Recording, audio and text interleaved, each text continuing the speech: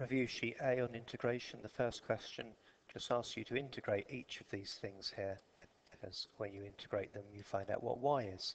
And to integrate the power goes up by 1 and you divide by the new power. So I'll do 4 divided by 2 here to get 2. Here the power goes up by 1 and we divide by the new power. And even with the 3 the power goes up by 1 so we have an x there.